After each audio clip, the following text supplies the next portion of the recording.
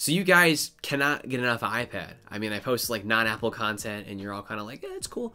And then I post an iPad note-taking video at midnight. I thought I wasn't going to get any views and all of a sudden it gets a thousand views in an hour and I'm just like, so the demand for iPad is high for my people who want non-iPad content. Please, once again, I said this in my previous video, don't worry.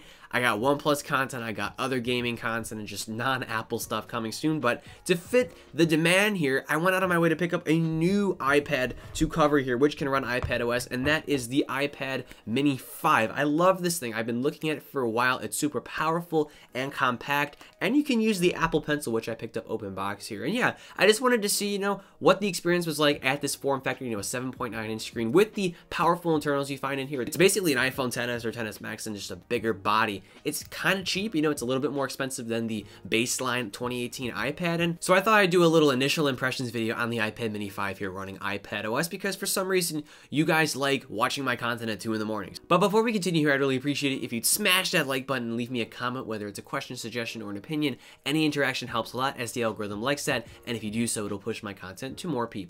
So without further ado, let's jump into things here.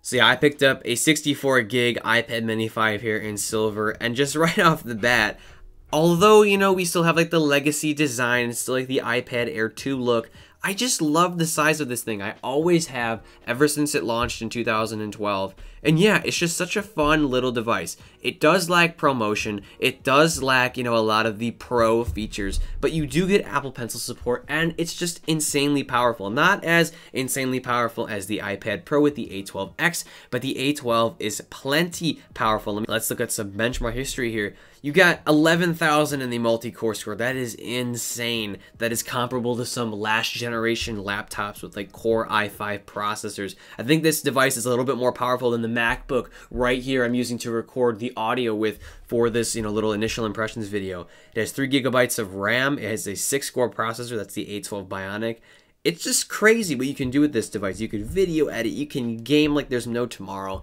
and I cannot wait to cover this more in the future, you know, to get more in depth with certain tasks. But yeah, overall, with iPad OS even installed as a beta program, it is a very fluid experience, even lacking that 120 hertz display. 60 hertz is just fine here for most users, and for me, really. I'm not complaining here, even though I have access to a much higher refresh rate screen.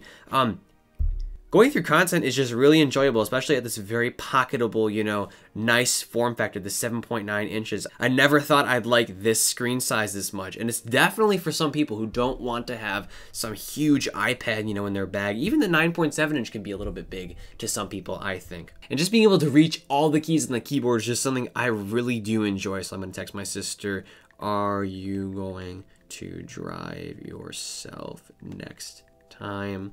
Let's talk about the pencil too, because it offers a very unique experience, especially on this small display, which I would say is more than big enough to take some notes and draw a little bit here. Let's go back in history. I was doing um, some doodling here, and I managed to do this with the pencil.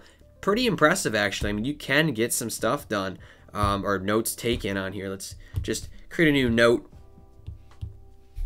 write a little bit. 60 hertz is more than fine. It feels very smooth and responsive. Obviously not as smooth and responsive as the iPad Pro, but for 399, and if you get like the pencil used or open box, it is definitely a really nice experience here. You use the pencil if you're kind of an artist. If you use like a better app like Procreator, I don't know, like Autodesk Sketchbook, you can, you know, make use of the pressure sensitivity with the iPad. And yeah, it just works really, really nicely. And I love the fact that Apple integrated Apple Pencil support in the, you know, non-pro iPads. Let's do some multitasking here. Uh, this display, although it is 7.9 inches, it's definitely big enough to do stuff like this. You can also bring that carousel view in as well. So let's drag this app over here and then boom, you got this going on. Let's drag another app. I don't know, let's have another instance, or let's do an instance of uh, notes here, and then maybe another instance of Safari if it'll let me. Let's see, yeah, so you can have this carousel view as we know here, really, really, really useful. Um, you can swipe that away, if I can do that, maybe someday. There we go. Um, let's open a new tab, search. I love how the little miniature keyboard pops up, which is still big enough to type a little bit. Let's do Apple News.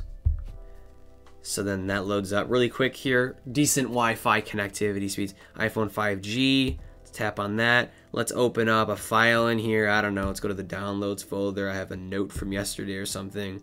Um, open my numbers folder. So yeah, we're interacting with this app over here and this app over here. We can swipe back in here, look at our messages, look at a different instance of Safari. Let's pull up my YouTube analytics or my Social Blade page, scroll through that, swipe over here, notes. We can, you know, even jot down something else. It's incredible that you can do all of this on a little powerful device like this and I just once again love the form factor you get here. So you can just hold it in the palm of your hand. It doesn't feel overwhelming. You just have everything in like a thumb's reach. And this is the landscape orientation that we have here on the home screen with this little widget view. It's very nice here. And yeah, it just makes better use of this display and just makes things a little bit more compact and I would say it makes the iPad just look more pro, even though it isn't an iPad Pro. It looks less like a toy and more like a tool, like I said about iPad OS in general with all the iPad devices. The speakers I found are not super loud, but they're more than adequate, especially for, you know, YouTube videos. Let's go into the YouTube app here really quick. Gus Johnson is the best. Last week we lost a wonderful man, my Uncle Gary. Um, so today I am here. And also, I won't forget to mention here, it has a headphone jack, which is going extinct. So if you use wired headphones, this is definitely a device to get, even over the iPad Pro if you are so inclined. Let's open up Notability here. I was playing around with this earlier. You can use the zoom view to write things out. So, you know, you can just be like, I am taking notes. And this is definitely big enough to write things out for sure. Even, you know, marking up documents, let's use the default little document here with notability like I showed yesterday in my note-taking video. Highlighting, just fine. You can add a little note in here. I'll change the color to red and change the size here. Let's zoom up, maybe like circle something, you know, toolbar, Make a little note like this is important. We'll write that. This is important. I don't know why it's important, but it is. So, so yeah, PDF manipulation with the Apple Pencil and just note taking in general is a definite thing. I will be doing a video specifically on this in the future, just talking about the whole form factor and whatever. But yeah, I'll go into depth with that later on. And it kind of sums things up here with this device, you know, my overall first impression. I really love this for the form factor and the power you get, and iPad OS just makes it better. And once again, I cannot wait to cover this device on many of its different aspects and uses, you know, when it comes to maybe video editing and note-taking, photo editing, document manipulation, note-taking, etc. Leave me a comment if you have anything I'd like to do with this device down below in regard to just, you know, itself and in comparison to other devices as well, like the iPad Pro. So yeah, that about wraps things up. I hope this video helped you out. I hope you enjoyed this device as much as I do. I love the form factor and the fact that this device is just so powerful. Uh, I'd really appreciate it if you leave a like in this video, comment if you have any questions or suggestions, and subscribe for more content like this. And just a little quick side note, do not worry. Although I'm doing a lot of iPad content to kind of fit the demand here, because if you want iPad, I'm giving you iPad. I also do non-Apple content. I also do non-iPad content. So if you're kind of distraught here, I got a OnePlus video coming up and other non-iPad and Apple content coming soon.